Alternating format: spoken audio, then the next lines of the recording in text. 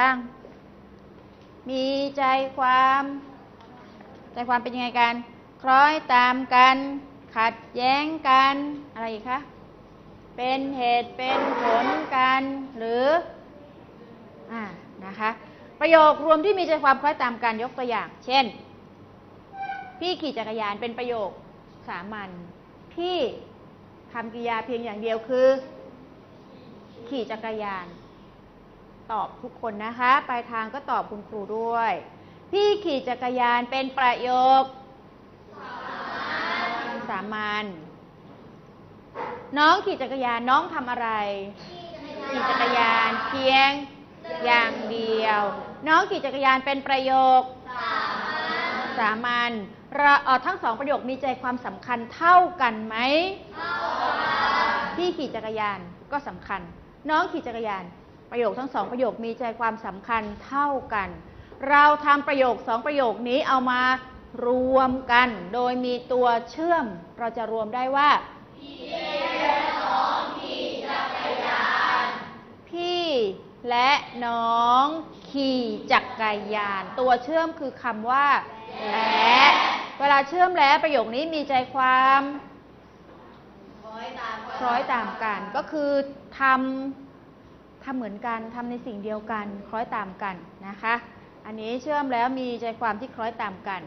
หรือประโยคที่มีใจความขัดแย้งกัน เช่น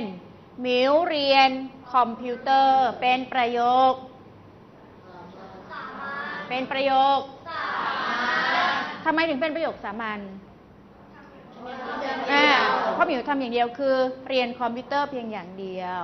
อีกหนึ่งประโยคแมวเรียนดนตรีไทยเป็นประโยค ทำไมถึงเป็นประโยคสามัญอ่า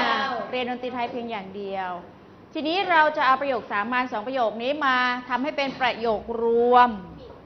ทำได้ว่า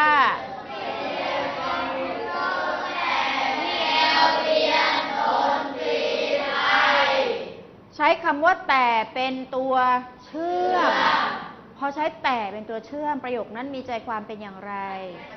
อ่า คะคือแทนที่จะเรียนเหมือนกัน เรียนคนละอย่างกันนะคะ อันนี้ก็เป็นประโยครวม เอาประโยคสามัญอย่างน้อยสองประโยคมารวมกัน ประโยครวมที่มีใจความให้เลือกอย่างใดอย่างหนึ่ง เธออยากไปเที่ยวทะเล เป็นประโยคสามัญ เธออยากไปเที่ยวน้ำตก เป็นประโยคสามัญทำประโยคสามัญทั้งสองประโยคให้เป็นประโยครวม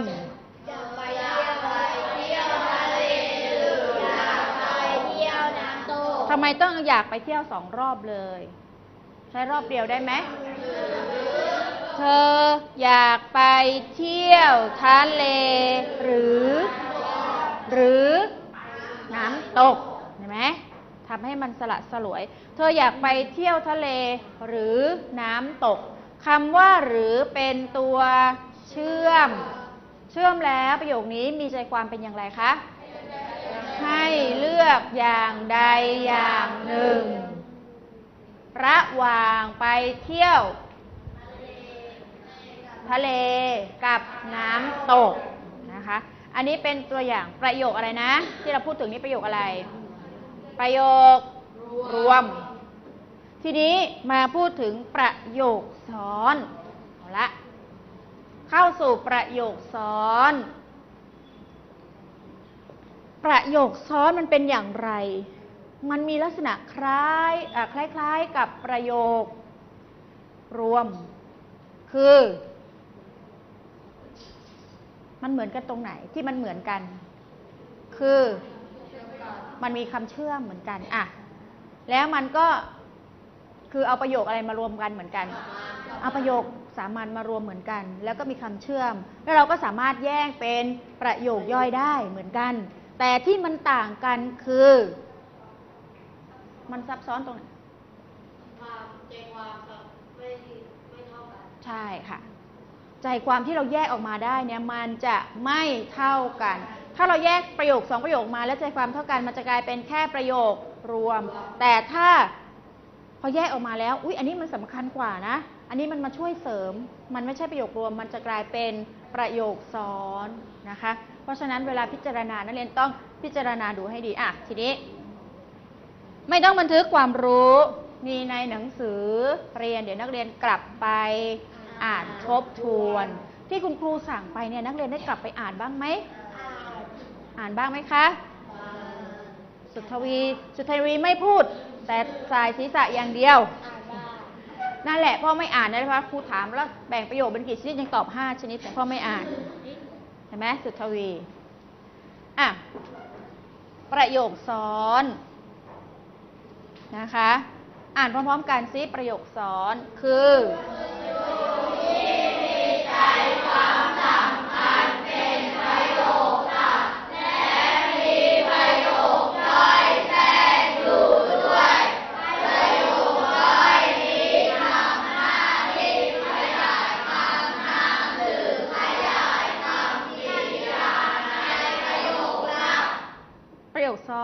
ประโยคที่มีใจความสำคัญเป็นประโยคหลัก และมีประโยคย่อยอสรุปว่าเวลาเราแยกออกมาแล้ว ในประโยคซ้อนเราจะแยกได้ประโยคอะไรบ้างหนึ่งประโยคที่สำคัญสิที่สำคัญคือประโยคหนึ่งเวลาเราแยกออกมาได้ประโยคหลัก ประโยคหลักนี่มันสำคัญ และสองประโยคย่อย ทีนี้เราจะดูเอ่อเราจะรู้ได้อย่างไรว่าอันไหนเป็นประโยคหลัก อันไหนเป็นประโยคย่อย รู้ตรงไหน ประโยคหลักมันต้อง มันต้อง มันก็มีใจความทั้งคู่นั่นแหละ ประโยคไหน ถ้าเป็นประโยคหลัก ประโยคนั้นมันต้องมีใจความสำคัญ เวลาเราแยกออกมาแล้วเนี่ย เรามาดูค่ะว่า อันไหนมันสำคัญ ถ้าสำคัญมันก็เป็นประโยคหลัก แล้วอีกประโยคหนึ่งมันก็เป็นประโยคย่อย อีกประโยคหนึ่งเป็นประโยคย่อยมาช่วยเสริมนะคะ ดูตัวอย่างประโยคอ่าและพิจารณาประโยคอะ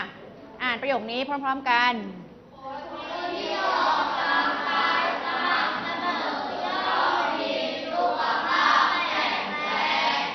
คนที่ออกกำลังกายสม่ำเสมอย่อมมีสุขภาพแข็งแรง อะไรในประโยคซ้อนมีมีตัวเชื่อมไหมมีมีอ้าวหาตัวเชื่อมก่อนอะไรคะย่อม ใครว่าไม่ใช่ย่อม ไม่ใช่ย่อมค่ะ อะไรเป็นตัวเชื่อม ตัวเชื่อมประโยคคำว่าคำว่า ย่อมไม่ใช่ ย่อมไม่ใช่คำว่าคำว่าที่นะคะ ที่นะที่เป็นตัวเชื่อมอะประโยคหลัก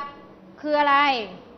อะไรที่ประโยคนี้อะไรที่สำคัญ เราต้องแยกออกมาค่ะ แยกแยกแยกประโยคนี้แยกประโยคซ้อนนี่ออกมาเป็นสองประโยคก่อนอะประโยคหลักอะไรที่มันสำคัญ ประโยคสำคัญคือคน อะไรมันสำคัญกว่ากันดูให้ดีก่อน อะไรมันสำคัญ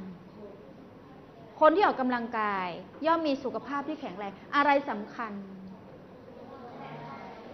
อะไรสำคัญ คนที่ออกกำลังกายสั่งสม่ำเสมอ ย่อมมีสุขภาพแข็งแรง อะไรเป็นประโยคหลัก หาก่อนว่าอันไหนมันสำคัญ ประโยคหลักคือ ประโยคหลัก คนที่มีสุขภาพแข็งแรง คนที่มีสุขภาพแข็งแรงเป็นประโยคหลัก ประโยคย่อยคือประโยคที่มาช่วยเสริม อะไรที่มาช่วยเสริมคนที่มีสุขภาพแข็งแรง ก็คือคนที่ออกกำลังกายอย่างสม่ำเสมอเป็นประโยคย่อย ไปช่วยขยายประโยคหลักจำเป็นไหมว่าประโยคหลักจะต้องอยู่ข้างหน้าประโยคย่อยจะต้องอยู่ข้างหลังใช่ไหมไม่ใช่นะคะ บางคนบอกว่าประโยคหลักก็ต้องอยู่ข้างหน้า ประโยคย่อยก็มาอยู่ข้างหลังไม่ใช่นะคะ ต้องดูต้องพิจารณาดูอะไรเป็นตัวเชื่อม อะไรเป็นตัวเชื่อม ที่ที่เห็นไหม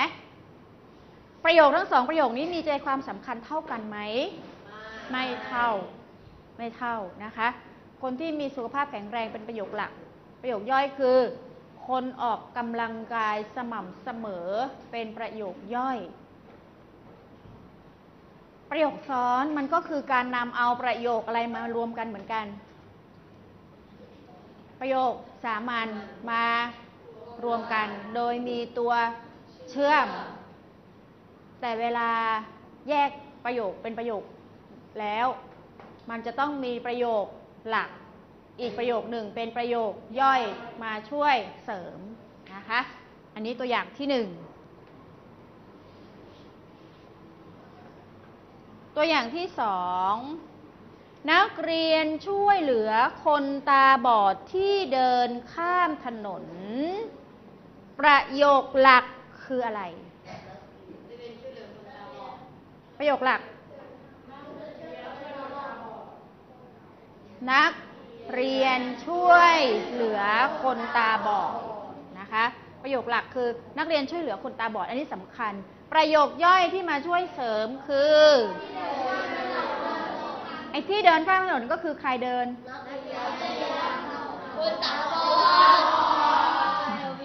สุทวีอ่านะคะ ประโยคย่อยคือ คนตาบอด